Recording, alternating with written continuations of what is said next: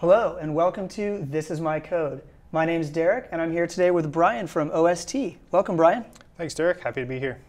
Uh, so I understand OST is an advanced consulting partner with AWS, and you guys specialize in helping customers implement solutions using AWS and IoT.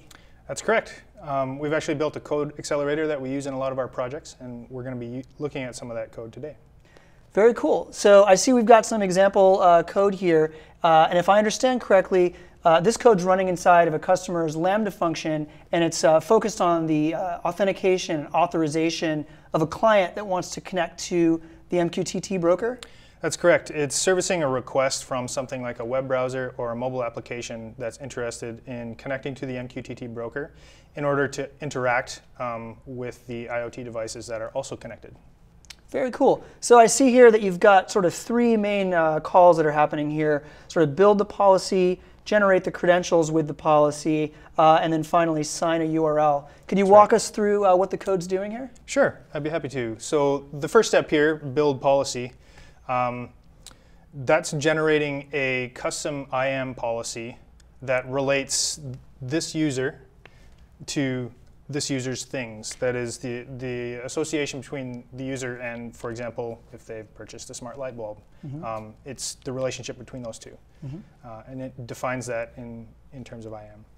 And on the back end, uh, how do you know which uh, users are authorized to access what which things? what's the data store there? In this case, we're using DynamoDB to, to map the user to the things that they own. Ah, very cool. So in that case, you can use uh, the functionality in DynamoDB to really have uh, row row-based access control uh, and have a, a, row for who's uh, every user and what they're allowed to do. Yep. Very cool. That's right. Cool. So you've created an IAM policy that describes uh, what the customer or what the user is allowed to do. What happens next?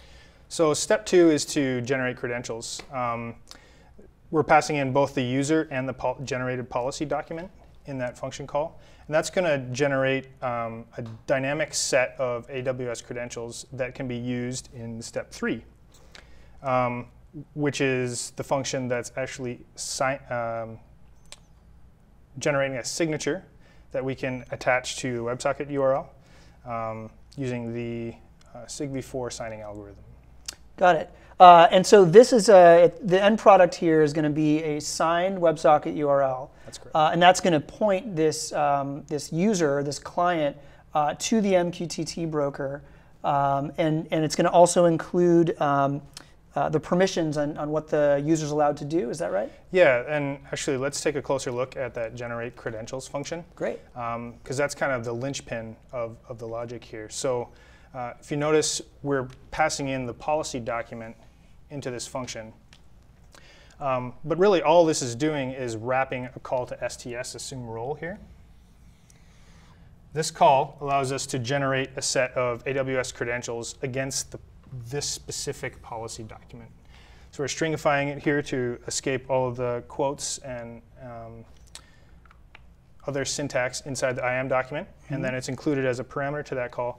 So the credentials that come back um, allow the, use, the owner of those credentials to do all of the things in that policy document, but only those things in the, uh, the things that are in the policy document. Got it. So uh, we've, at this point, we've authenticated the user, so we know who they are. Uh, we've looked up uh, what the user is allowed to do and created an IAM policy document. Mm -hmm. and now um, we've turned that um, uh, into the credentials that are needed here. Mm -hmm uh, so that you can go and sign the URL and hand that back to the client. That's right. Um, so the client can take that URL, connect to that over to it over WebSockets, mm -hmm. uh, and then the IoT core service handles validation of that signature, um, communicating uh, in the back end back to STS. Got it, got it. So that's built in. You don't have to worry about the authentication piece exactly. on the other side. Exactly.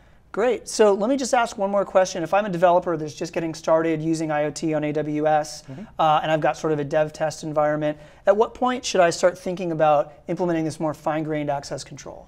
Good question. So at the beginning of a project, usually you're just interested in trying to connect your device at all, and mm -hmm. then and manage communication, define messaging structures, and define MQTT topics between your digital experience, your, your mobile app or your browser, and the things themselves.